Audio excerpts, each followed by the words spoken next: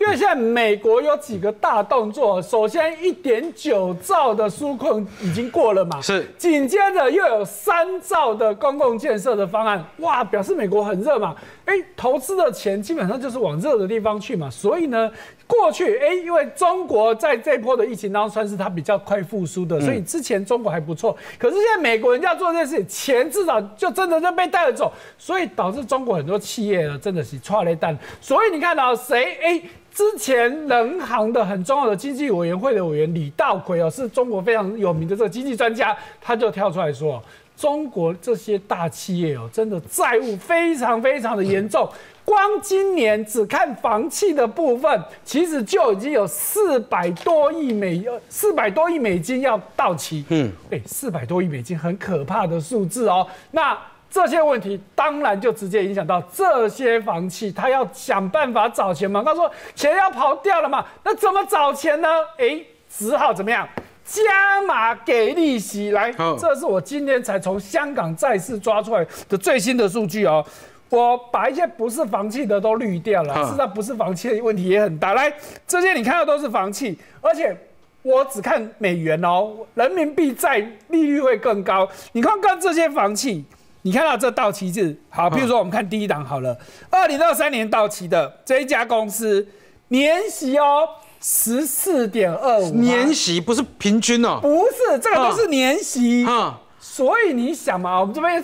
这个市长老师，如果今天利率这么高，我还要做投资吗？是啊，而且还美元在，我又不用担心这个汇率汇损的问题嘛。好，那我们就抓刚刚讲到的恒大来，恒大底价十二十二趴，什么时候到期？二零二四年。哎，美国十年期公债这两天不是可以说又飙高了多少？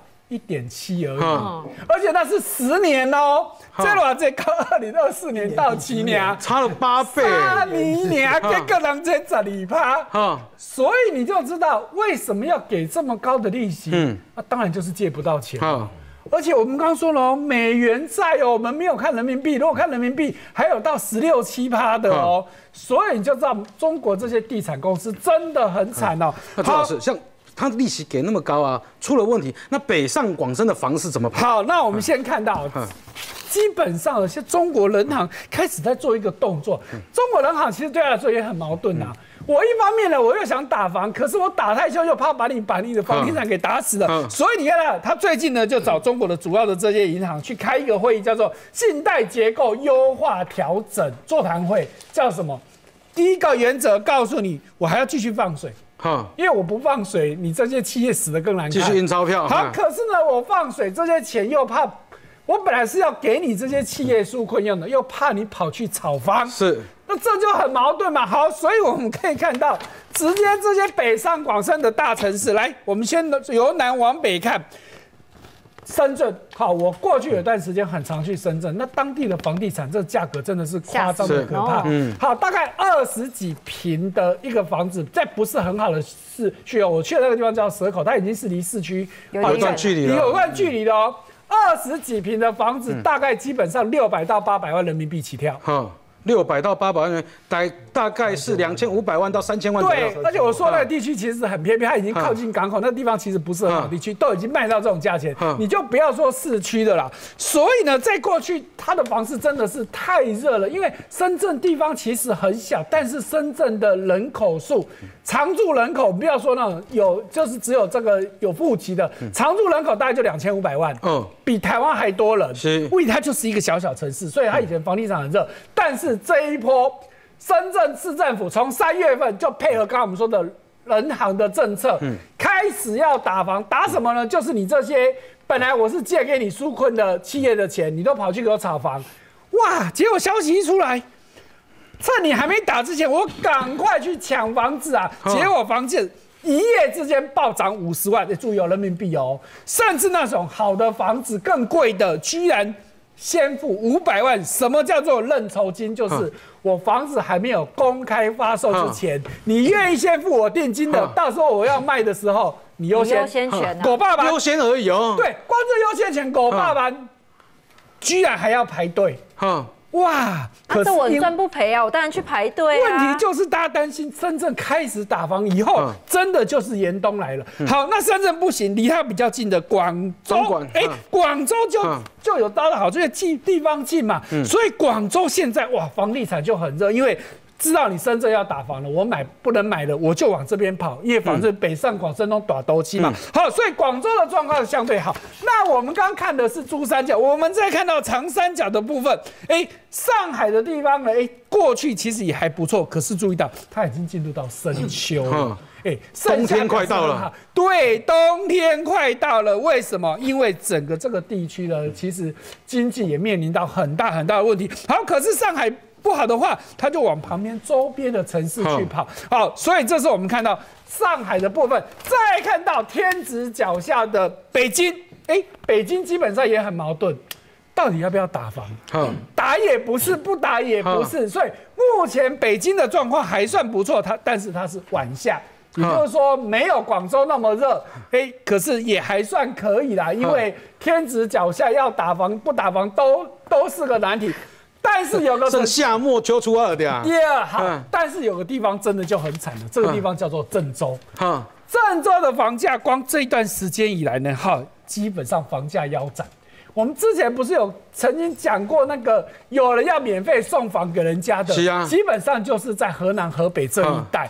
为什么呢？哈，尤其是郑州为什么这么惨呢？因为他们之前都以为，因为郑州大家注意哦，它是红海富士康的大本营，哈大家以前都觉得富士康行李就后会扩厂，所以他拼命的盖房子。嗯哎，结果没有。尤其如果大家有注意到，昨天富这个红海公布他们的财报，他们去年获利减少 百分之季不如预期，哎哎，而且它是八年来获利最差的一年嗯，所以大家以为要扩厂，结果没有了，只好。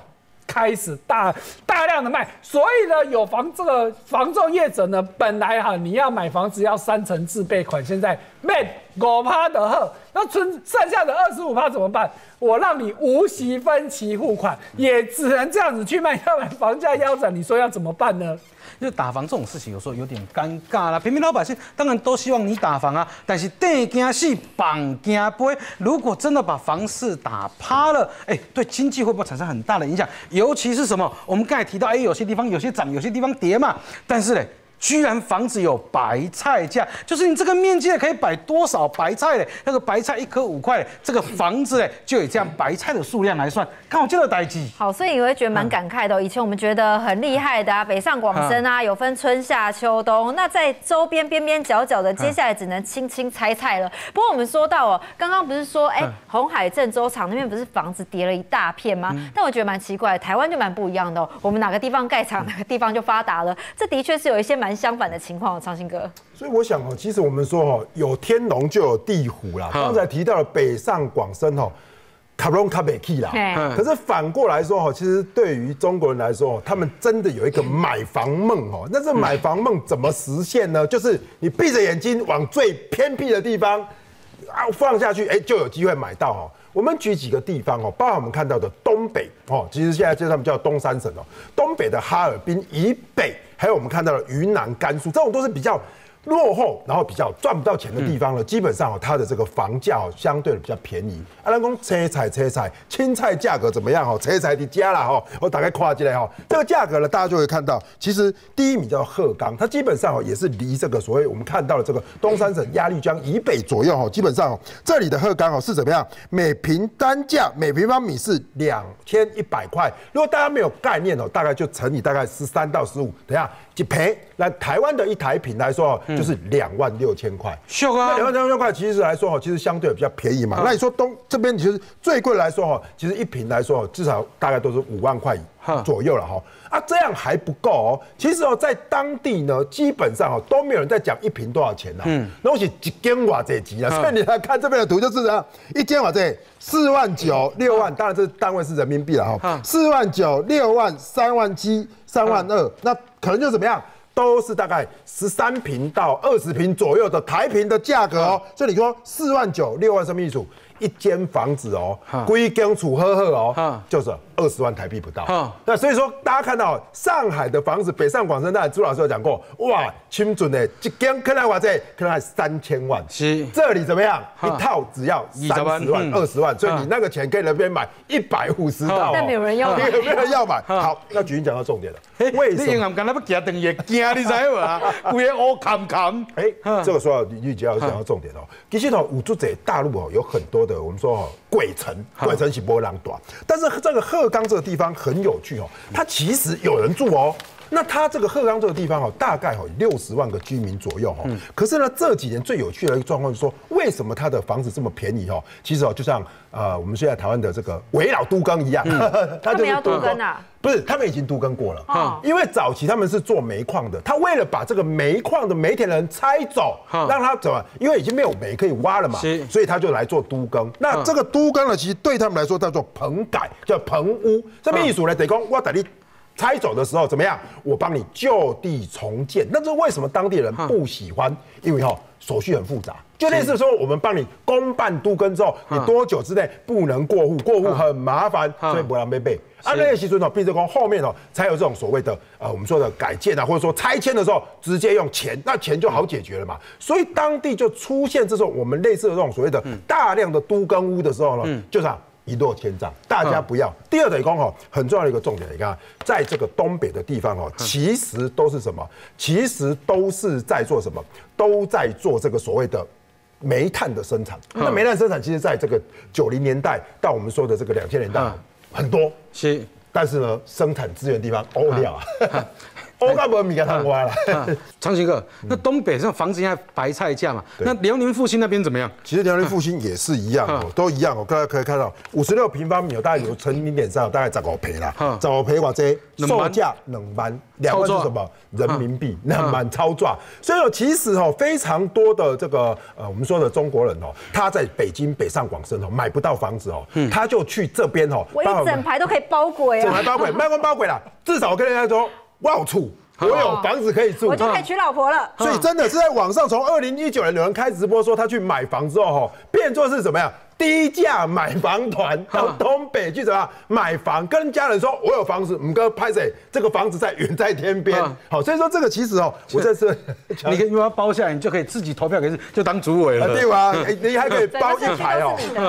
一间两万，一百十间妈二十万呀！哈嗯其实我们提到这个重点，就是说哈，为什么会有这样的一个状况哦？很简单的一个点，就是说这个点我们给大家看一下，这是东北，各位可以到东北哦。其实东北的这个牡丹江还有哈尔滨哦，其实这边其实比较南边，所以它这边的房价比较贵，最贵在这个看到牡丹江我这。